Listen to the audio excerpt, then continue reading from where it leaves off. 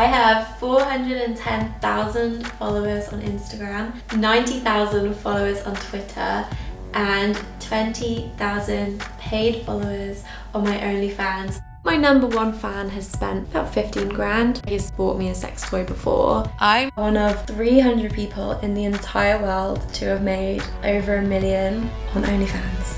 My best month was $120,000. She's supernatural.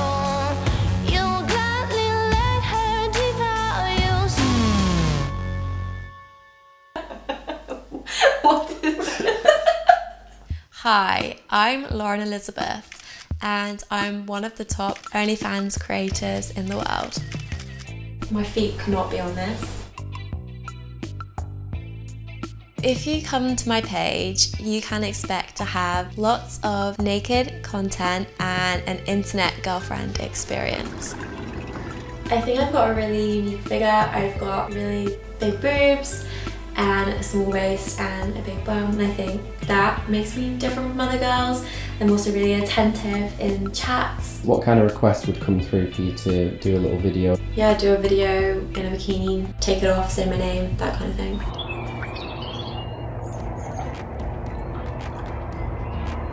Welcome to my kitchen. I just absolutely love kitchens. It was a complete dream for me to be able to do it my kitchen. Was this like a big purchase for you as well? I, I don't really buy cars all the time, but it really made sense just to have it. I absolutely love this table. We're going to have an annex and gym at the end of the garden and then redo the garden. We actually got a um, Japanese toilet. This is my bikini collection. I got the Peloton bike and the tread and I am obsessed. I think one of the biggest shocks was how much it actually cost to do up a house. How much have you spent so far? I don't want to know, but definitely over a hundred thousand. I really don't want to know. I think the craziest thing about performance is you kind of assume that you'll get better and better and better. And it can be quite hard not to compare yourself to other girls.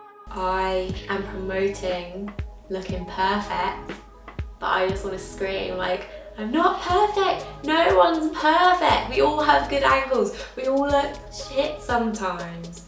It annoys me that my narrative is, hi everyone, I'm perfect. And I'm Lauren I don't want to be like that. I just want to be normal. Oh God, they're all really embarrassing. I'm not showing any with braces on. When I was a kid, I didn't really tell my parents about things that were going on at school. I didn't really want to trouble them with it. No boys fancied 16 year old Lauren. 16 year old Lauren wasn't very popular, had never had a boyfriend, and some very nasty girls made rumours up that I had done very sexual acts. And I remember coming into school and wanting to cry. When you're 16, everybody just wants to fit in and follow the crowd so that people can not have a reason to be nasty to you. Then you grow up and you realise that you just want to be yourself. I think when I was younger at school and girls used to stare at me and judge me, I used to deliberately wear a tight top just so I could prove a point that I had a nice body. It was like a defence mechanism. What's the like, average fan request? Please can you make a sex tape? I remember once I went to the pub where I used to live and I had boys that were much older than me saying my name and obviously because they had seen my content and I found that incredibly intimidating and horrible and I remember feeling like I was about to burst into tears, it was horrible. I still remember it because it wasn't very nice and that's the reason why I don't live there anymore. I guess I was at a point where I probably wasn't like owning the job as much as I feel now.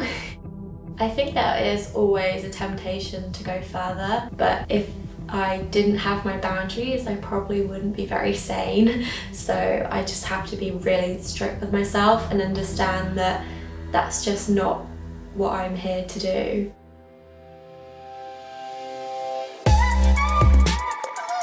When I made 120,000 in a month, it felt incredible and I felt so grateful to have been able to make that in a month. makes it all worth it. I would say I'm a businesswoman. Like, I'm really thinking about my future with every day that passes. I'm thinking, this is monopoly. How can I invest my money? What smart decisions can I make now that will benefit me later? This in England is quite unique. I'm gonna be a housewife. I'm gonna be a mummy one day.